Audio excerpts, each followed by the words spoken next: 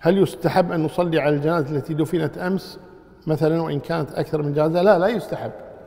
إلا إذا كانت جنازة معينة أنت تريدها لكن شغلت أو نسيت أو لم تعلم أو كنت مسافرا وأنت تريد أن تصلي على هذا الإنسان قريب أو صديق أو معرفة أو كذا وتريد أن تسلم عليه نعم.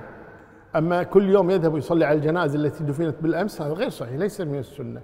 النبي صلى الله عليه وسلم سأل عن امرأة أو رجل قيل على خلاف يعني كان يقم المسجد فلما سأل عنه النبي صلى الله عليه وسلم قال دفناه البارحة قال ألا أعلمتموني؟ قالوا ما أردنا أن يعني نزعجك فقال دلوني على قبرها. فأتى القبر وصف الصحابة خلفه وصلى عليها صلى الله عليه وسلم. هنا لم يعلم بدفنها صلى الله عليه وسلم. فالقصد لكن لا يتخذ الإنسان سنة. كل ما ذهب إلى المقبرة صلى على اللي دفنوا بالأمس أو اللي دفنوا في الصباح. لا إذا كان شخص يعرفه كان يتمنى أن يصلي عليه.